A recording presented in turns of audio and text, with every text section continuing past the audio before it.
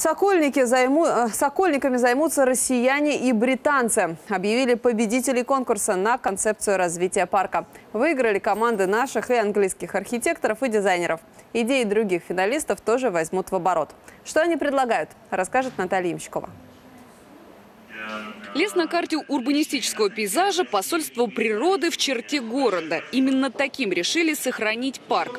Лоси, белки и другие обитатели Сокольников будут делить территорию вместе с отдыхающими, не мешая друг другу. Главная концепция в том, что этот парк мы пытаемся сделать парком прежде всего, то есть парком для гуляния, парком для общения с природой и парком для э, от- ну, от- отделения от урбанизма, где люди могут отдохнуть. Условно парк разделят на три части. Лес его оставят территорией дикой природы, лесопарковую зону сделают общей, а парк останется прежним, зоной для отдыха и развлечений. Из 66 конкурсных работ жюри выбрало именно такую концепцию.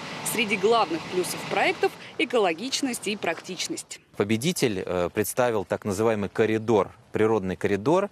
Э, Это вход со стороны э, территории Лосиного острова на территорию парк Сокольники и продолжение так как такой центральной оси, да, через Путяевские пруды на центр парка, чтобы природная составляющая парка, как э, парка для отдыха, как лесопарка, она была сохранена. Более конкретное очертание проект приобретет после того, как начнется проработка деталей. На это уйдет около года. Пока что только утверждена концепция. Впрочем, в одном авторы проекта определились. Лучевые просеки, которые проходят по всему парку, станут тематическими. Вот этот третий, например, превратится в аллею чаепития. Здесь будут продавать горячие напитки и устроят зону для пикников. Второй будет для отдыха, ну а третий просек станет аллеей развлечения.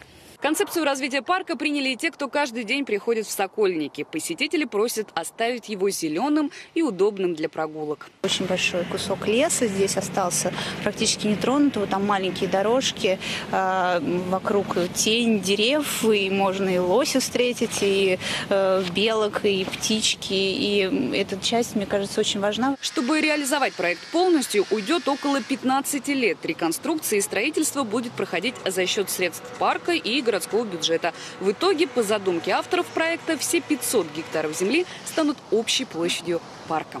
Наталья Ямщикова, Юрий Заболотников и Максим Берлов. Москва, 24.